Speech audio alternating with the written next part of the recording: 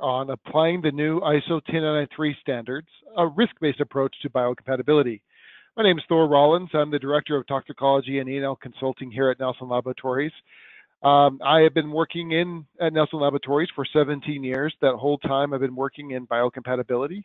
And I also am an active member on the TC 194 Technical Committee Group that is in charge for writing these ISO 10993 standards.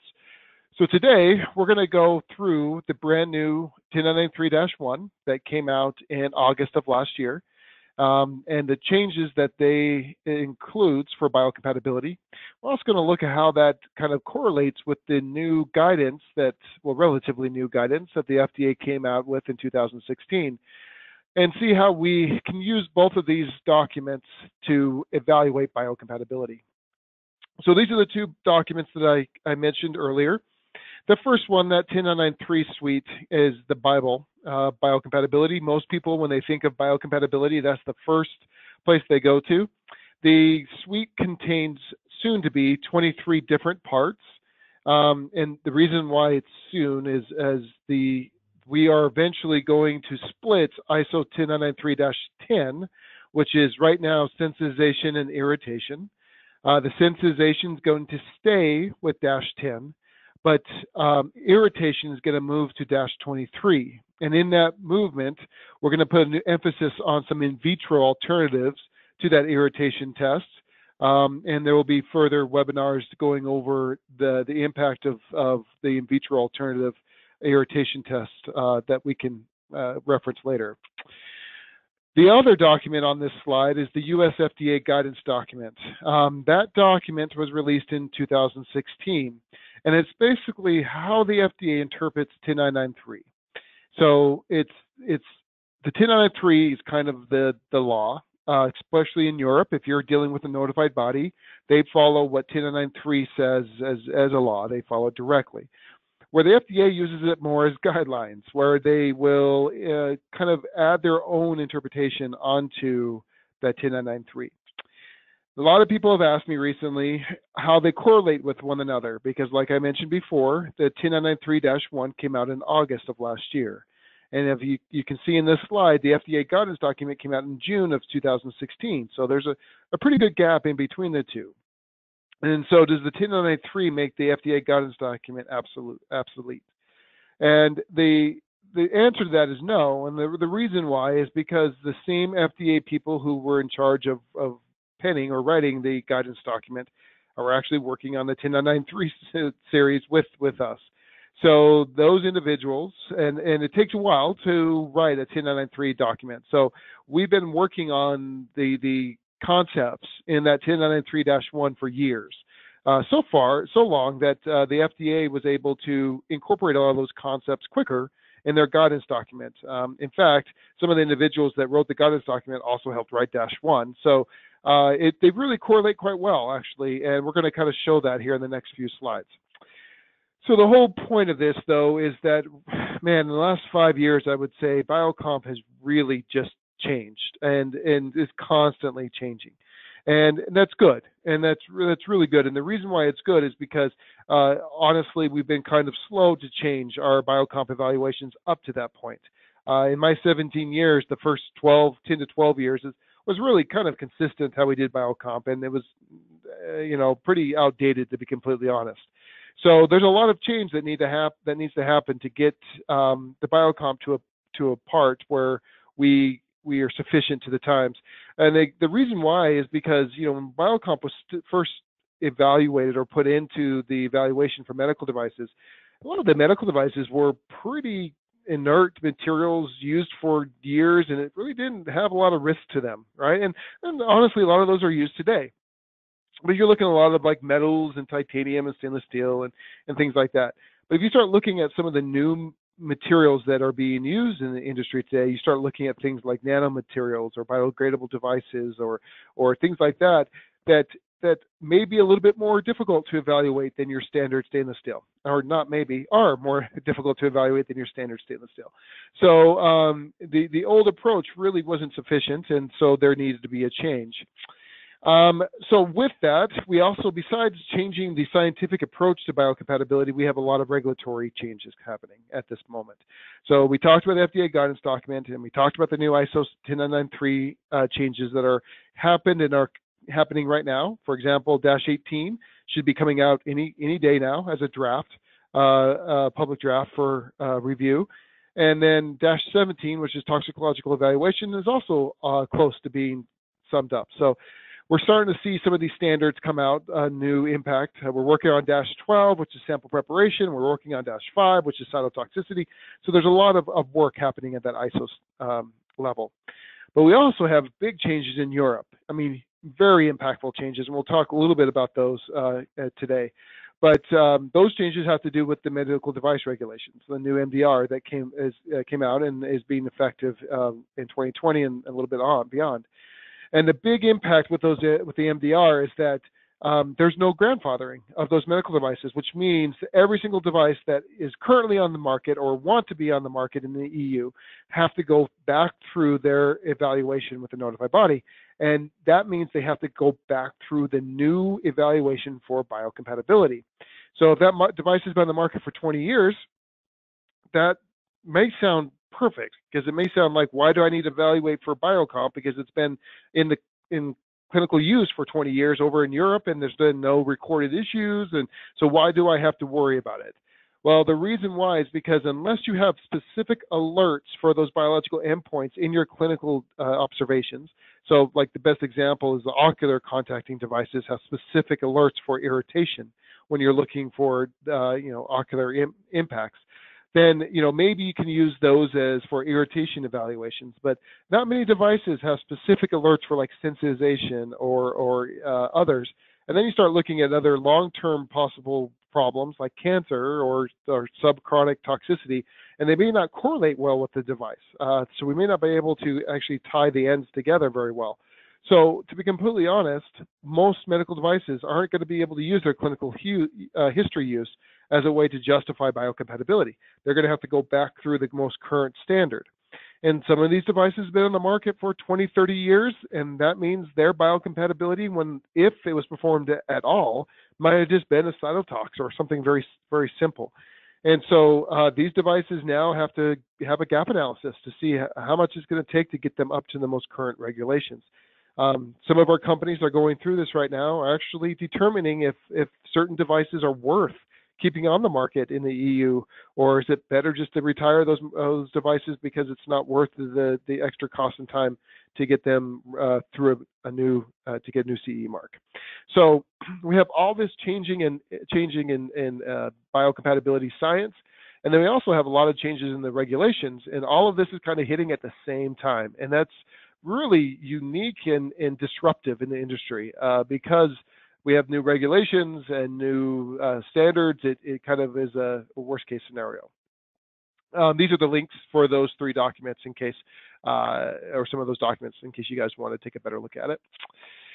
So this comes, this whole gap analysis with the MDRs and, and new standards being evaluated with the risk-based approach, um, it, it reminds me of a story, uh, and I, for those of you that may have attended some of my live uh, sessions, I talk about this sometimes, but um, so I, I, we currently are based here in Salt Lake City, Utah, and uh, Salt Lake City, Utah is one of the most uh, beautiful places in the world for outdoor activities. Uh, I would put it up against anywhere. It's it's a wonderful place if you like outdoors. Um, I had moved here from another part of the United States that wasn't quite as as uh, appealing to be outdoors as it is here.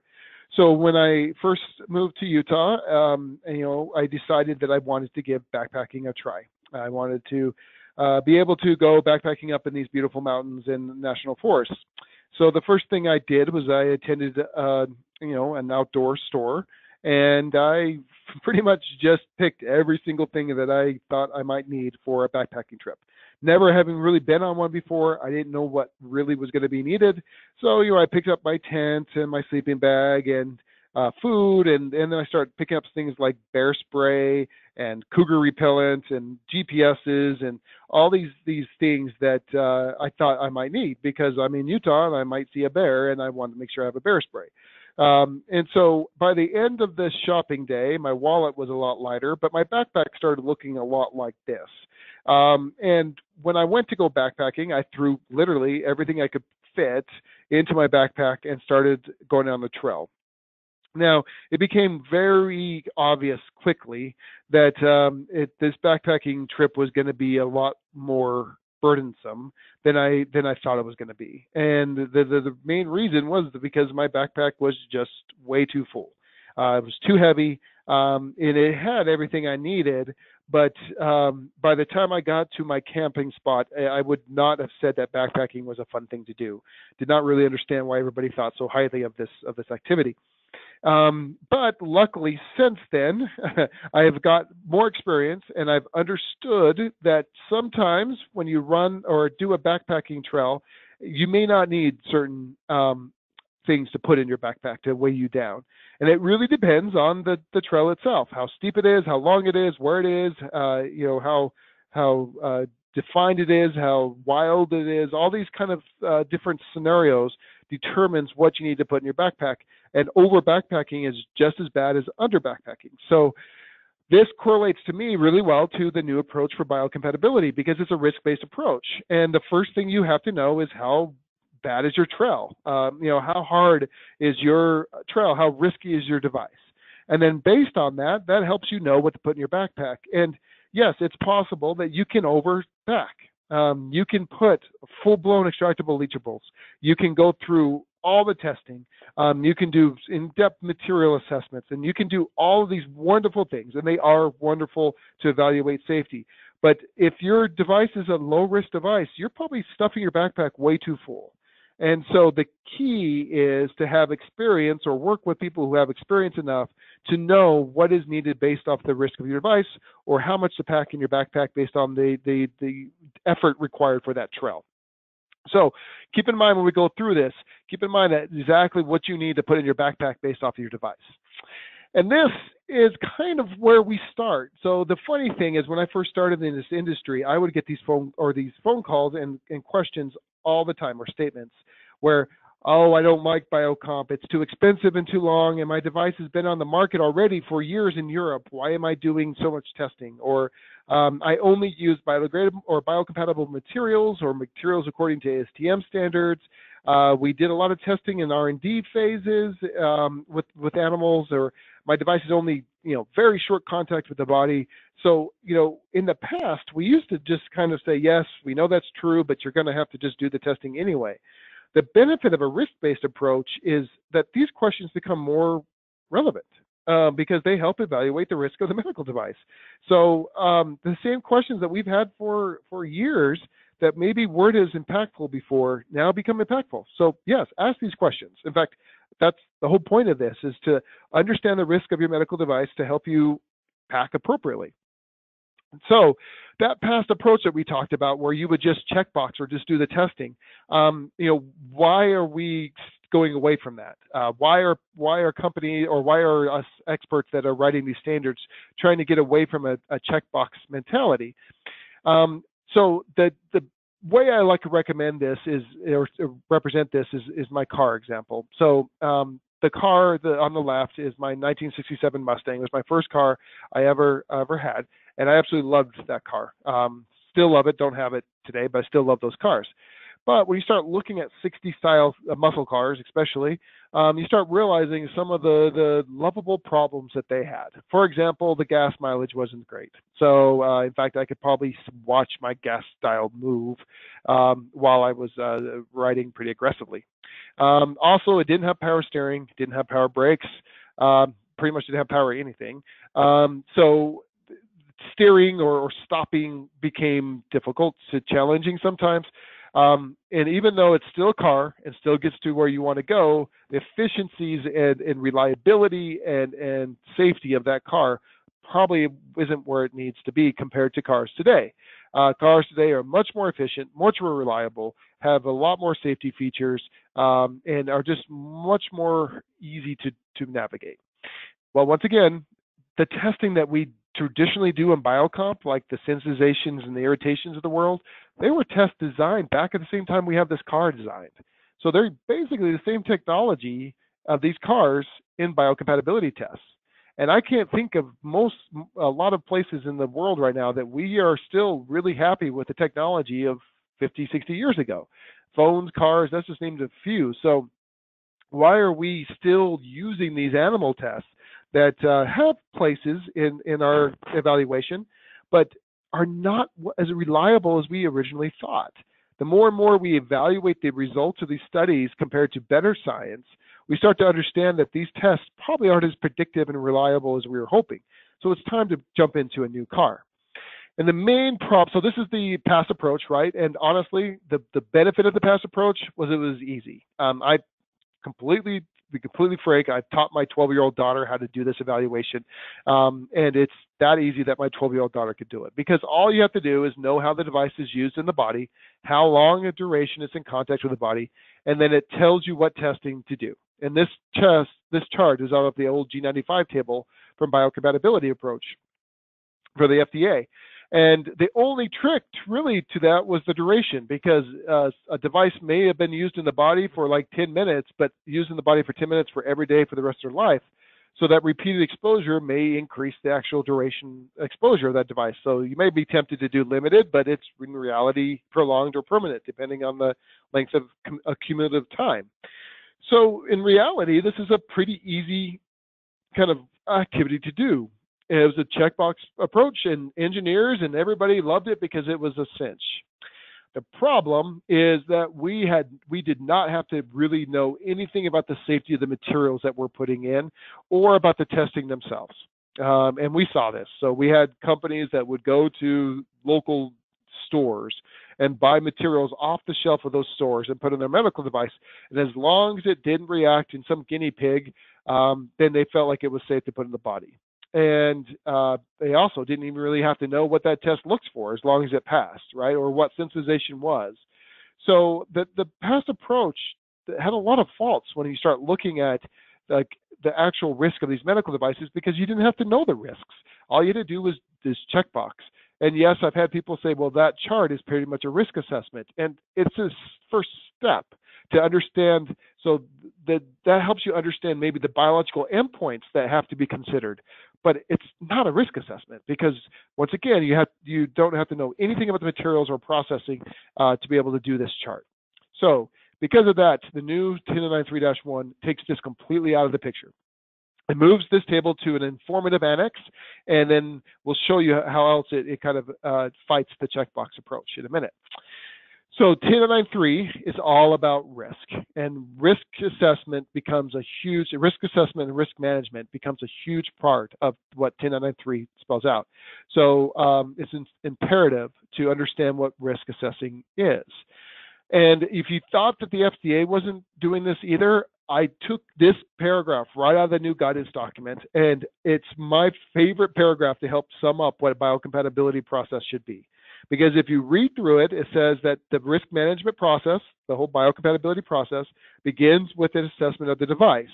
And that assessment should include the material components, so you need to assess the materials, the manufacturing processes, so what you're doing to those materials during the process, any residuals that could happen, and then ultimately the clinical use of the device. So we just talked about the, the biological endpoints based on its use. So those are the three things that should go into your risk assessment, materials, processing, and how the device is used. Once you consider this information from and look at the risks from a biological perspective and you identify those risks, then you come up with a plan. A plan should be developed. We call that a biological evaluation plan. That plan then spells out how you're going to mitigate those risks that you have. And this is a key part of this FDA guidance document.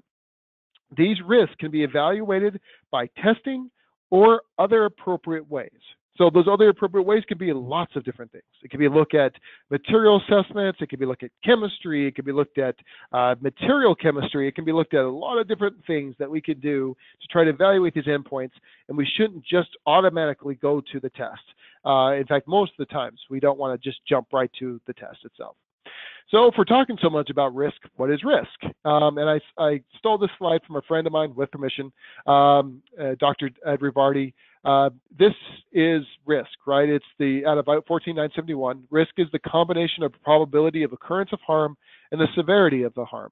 And that's what we do with these documents. We look at what could the harm be like what actually could happen and what's the severity of that and how often could it occur.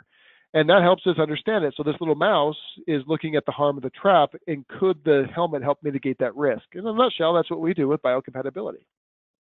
So if we break this down into a three-step approach, this is what it is. This is pretty much what the FDA spells out in their guidance document and also what 10993 has us do, which is first we develop that BEP, that biological evaluation plan. And this BEP is your initial risk. Like we talked about, you look at your materials and your processes, how it's used, you look at any failure investigate or failure possibilities, anything like that, you develop your risk. And then you develop a plan to mitigate those risks. And all of that is spelled out in your biological evaluation plan. Our recommendation, and I cannot stress this enough, especially if you have something that maybe is not a typical uh, risk assessment plan, is then you stop and you deliver that plan to your regulatory body for um, feedback. And yes, you can do this both in Europe and, with the FDA. So the FDA has a pre-sub concept where you um, communicate with them officially. It's free and it's great because you get feedback on that plan and you get feedback before you start testing and risk assessing. We can do the exact same thing with notified bodies. So we have a, a relationship with TÜV Süd where you can either do this directly with them, or if you're not a uh, you know a company of theirs, then we can represent you in in your behalf. But basically, all you're doing is getting feedback to see if your plan meets their interpretation of 10993. So it's a great way to be able to submit that plan to a, a regulatory body and get their feedback before you start the more expensive and, and longer testing. So that's your first step. Then you actually do what your plan tells you to do, uh, which is whatever testing and risk assessments it lays out. And then ultimately you deliver what's called a biological evaluation report. And we'll talk what that is here at the end of my presentation. But basically it's just a summation of your risk and then um, uh, the re results of your evaluations and tests. And then ultimately a declaration of safety. So this is your, your three-step process that you go through for biocompatibility. Now, this isn't new. I, I, know we keep on talking about the new 10993 and new everything like that, but we really tried to have this in the old version. So this this flow chart was actually out of the chart, or uh, the 2000, 2009 version of 10993-1. And if you walk through this flow chart, um, it actually is a risk assessment. Uh, you talk about materials, you talk about processing, and and you either you even allowed to get out of this whole process without testing if you can answer these questions successfully. Now you do have to have, depending on the risk of the device, a lot of good material information and process information to do that. But we have had success where we we've done actually permanent implants uh, where we've we've only done in vitro tests and no animal tests or things along those lines or compared against predicates. So these type of approaches work um, if you have the appropriate information.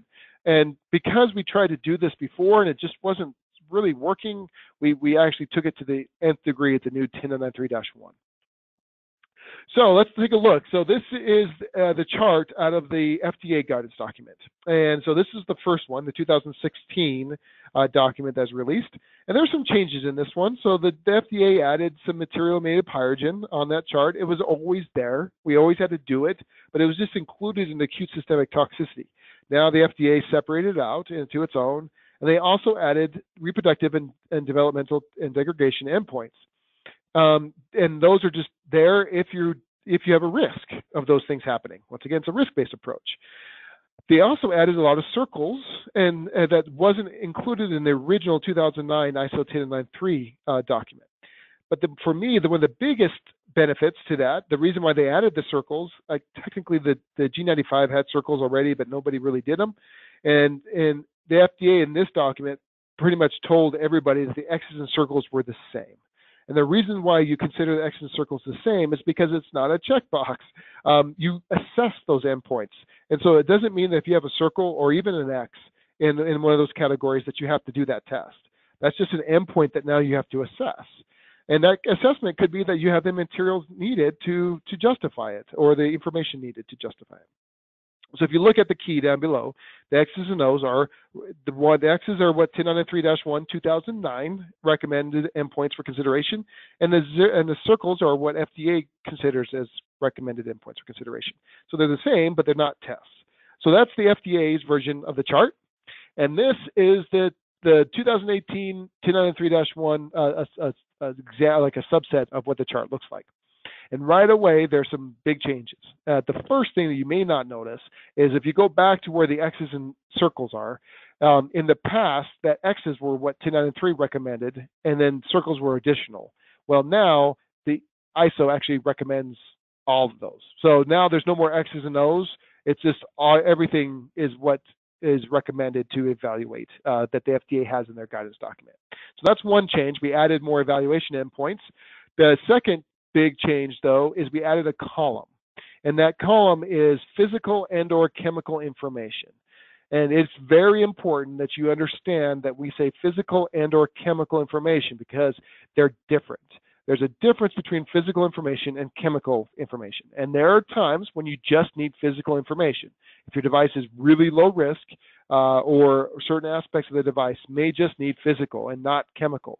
But in, in certain applications, chemistry is going to be needed to fill in the gaps. Physical information is probably not going to be sufficient to, to justify, and you'll need to have some chemical information.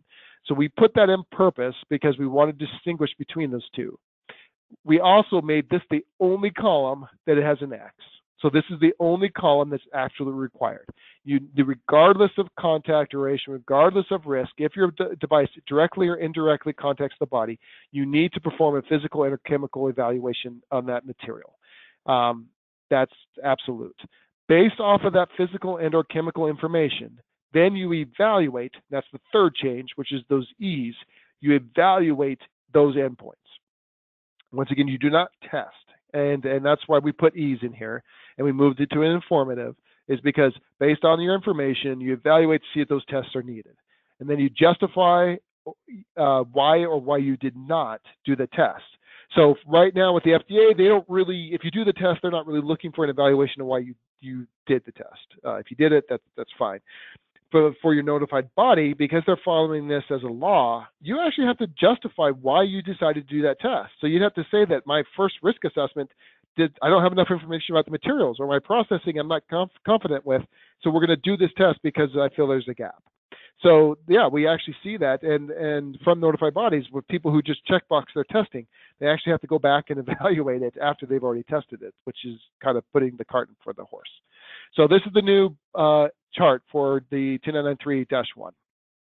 So since material evaluation is becoming so important, let's just walk through a couple some some thoughts on, on material evaluation. So we we write BEPs for companies, and when we do so, this is the one we spend like a lot of time on because based on the materials you, you material information and process information you can gather, then it helps you evaluate what endpoints you have to assess with your uh, with testing.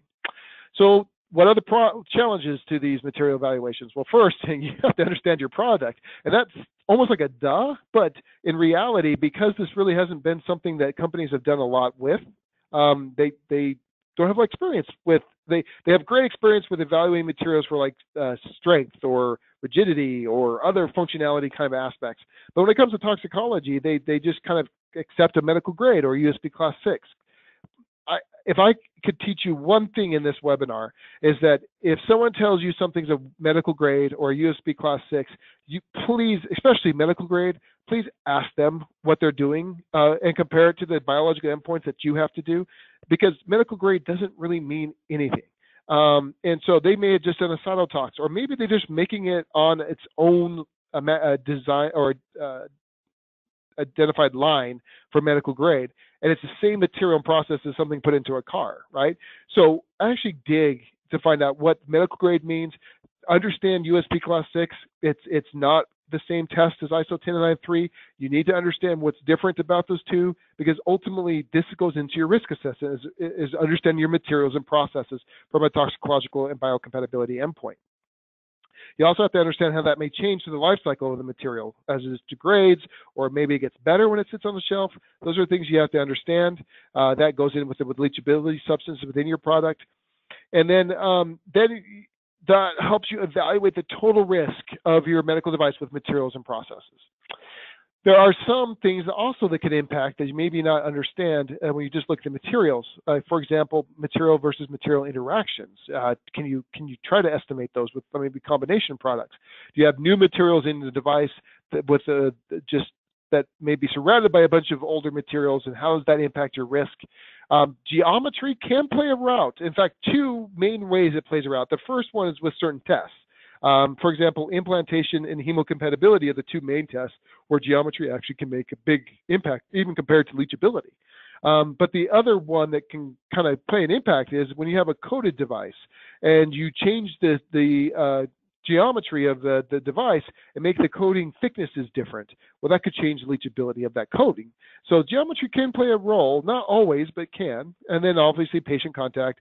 And that last thing we talked about, which is failure modes.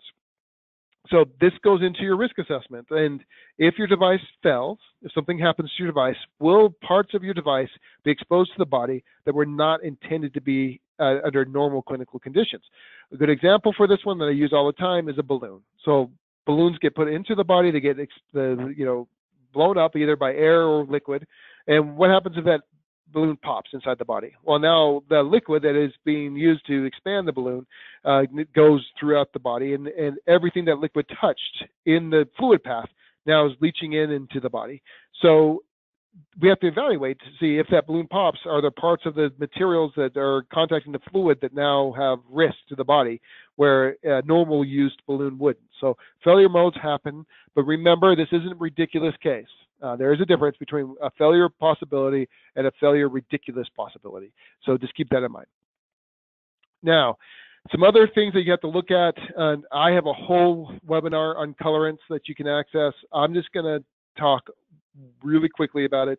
It's one of the few things that we add to medical devices that are not, in some cases, is beneficial, like size determination, and things like that. But for the most time, it just makes it look pretty. And making it look pretty really isn't a benefit to the patient. And so you're adding a material to the medical device that really isn't going to be a benefit. So you're looking at benefit risk ratios. It's not great. So I'm not saying, well, I am saying don't add colorant, but if you're going to have to add a colorant because your marketing department tells you to, just know that there is additional assessments that have to go into. Um, and, and FDA did a web, Jennifer Goode did a webinar on colorants. Uh, I did a webinar on colorants. So there's places you can go to to get some some uh, guidance on how to evaluate colorants. Okay, so that material chemical characterization is the first step in the biocompatibility process. So first thing you have to look at to evaluate your risk. And with that, it's just not you looking at those materials. It means you have to get a good relationship with your suppliers uh, because it's not just the review of your materials, but it's also the finished product, which means you have to look at what the suppliers put in as far as the processing goes. You have to look at what you put in as far as the processing, including sterilization and packaging. All of that goes into your risk assessment. And like I said, this involves communications with the suppliers, and we really like to have component com uh, uh, composition disclosures given to us because this is how toxicology works. It's about what it is and how much of it's there. And so if we don't really know what's there and how much of it's there, then our assessment becomes hard. Um, so that it makes it more difficult to to pack our backpacks appropriately if we don't even know what we're dealing with. So when we talk with suppliers, these are some of the things that, well, when we, we work on a, um, or with a company to help them with their biological evaluation plans, these are some of the things we ask the companies to do. Uh, first off, put in manufacturing agreements. And this means if they change anything, and I mean anything, that they let you know. A quick example to this is we had a company, and some of you may have heard me say this example, but it's the perfect one for this. We had a company that got some raw materials from overseas and uh, to help put some controls, uh, process controls in place, they would run a cytotoxicity whenever they see, received a new lot. And they got like three or four lots a year, so it wasn't that burdensome of a thing to do. And for years they got zeros, but all of a sudden they started getting twos. And so they contacted the supplier and they said, hey, we got zeros before and now we're getting twos. What changed? And I can hear a lot of you probably say in your mind, the supplier would have said, nothing, right? So they went out to visit the supplier, and when they were on site, the, they had the little manufacturing cell that produced their material, and it looked great. It was clean and organized, and um, they watched it for a little while, and then the, the manager of the, the cell came up, and they said, we take so much pride in our materials because we know they're used in medical devices. Uh, in fact, we're continually, uh, you know, being careful. Uh, we had uh, we had our people start wearing gloves to make sure they were cleaner and uh, they were latex powder gloves. So some of the latex was getting onto the material and causing uh, some reaction in the cytotox test. Now, first off, the reason I tell this is because this these this company didn't understand this. This wasn't a process change or or manufacturing change. They just wore gloves, but they don't understand the possible impact of those two biocompatibility. So you need to make sure that they either know or let you know of any potential changes that could impact you.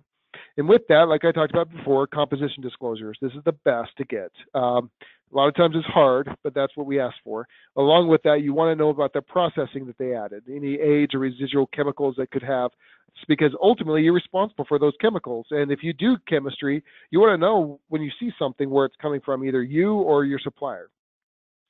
MSDSs or SDSs is something you can always get, right? I mean, they they they are always available, but they're pretty much useless. I, I shouldn't say that. There are some that are better than others. Some of them have okay data, but they're by far the least useful thing we have up here. Um, and that's because sometimes they're not even correct. When we've been in deep with the MSDS trying to, to do some of these assessments, we found some just, just false data. So just be careful with MSDSs. Some of them are great, and some of them are not so much. You can also find companies that have device master files with the FDA or other regulatory authorities, and this this is great. I mean, I use the example of silicone, Seal silicones. I'm not uh, paid by NuSil, but uh, they have a lot of master files uh, on their silicones, and they even do some of those uh, testing for their master files uh, under sterilized products. So to give you an idea what a master file is, NuSil will look at how their device is being used in the marketplace. They'll do appropriate testing um, process devices as much as they can process themselves, including sterilization, and then they give that to the FDA. They file they file for a master file with the FDA. The, master, the FDA looks at it, and then they give a master file. That means that number is for that material, and then the FDA has uh, looked over and said, yeah, this testing looks good for this whatever this possible use could be. The concept is now if you're going to use NuSil silicone, you could write NuSil and say, hey, I want to use your master file because I'm going to use your silicone. And if NuSil agrees, they'll give you that master file. And great, now I have my material information. And you do, but you remember your biological evaluation plan is not all about your materials, it's also about the processing. And even though they may have tested it under sterilization, does that sterilization meet your sterilization cycle? Or what are you doing to that silicone afterwards? Are you cleaning it? Are you whatever whatever you're doing to process it? Does it change the biocompatibility of that that NuSil silicone. So it's just the first step is that material evaluation, and and you need to continue that. So I'm just going to. This is more for your information. These are the new directives. The reason I'm putting out here is what we talked about before. Where with the new MDR, it's such a big impact because this everything we just talked about the material evaluation the risk assessments the BEPs all that has to be done on all these new uh, new submissions to notified bodies even with devices that are currently on the market. So you can understand the big impact. Um, they're also changing classifications so that devices may be different classes than they were before. So all these are really impacting along the same time as these ISO 10993 standards come out. Um, so, and then our, this is also a big one. Notified bodies are no longer contracting partners that allow for collaboration with the medical device industry, including enforcement testing and sending authorities unannounced inspections. So they, they've been doing this for a little while, but they they are no longer just uh, partners uh, that collaborate. They are more like FDA in some aspects. In fact, to be completely honest, we're seeing a little bit more difficult to get through the notified bodies right now than the FDA itself and that's a change. And I think it's because the notified bodies, remember, they're little unsure exactly what they're going to be held to under these new MDR. So they're they're being a little bit more careful in their submissions evaluations. So just keep that in mind. Okay, so you've developed your plan and you've gotten feedback from your regulatory body. You do whatever testing and risk assessments that are needed. So that's whatever chemistry or biocompatibility or functionality, whatever testing you determine in your BEP, this is the second phase is when you do it. And then you walk into your third phase, which is that biological evaluation report. Now, this is an example of what a BER could look like. This is actually right out of the FDA guidance document. It's what they say is, is as a possible approach to document the BER. Um, there's nothing wrong with this approach. Um, actually, the information in this is quite useful and, and it's something you should use when evaluating your BER. But you can do your BERs in any way. The the concept of BER is is what we talked about earlier. And this is the way that we use a BER. So if you look at it, you give the background of the whole purpose of why you do biocompatibility.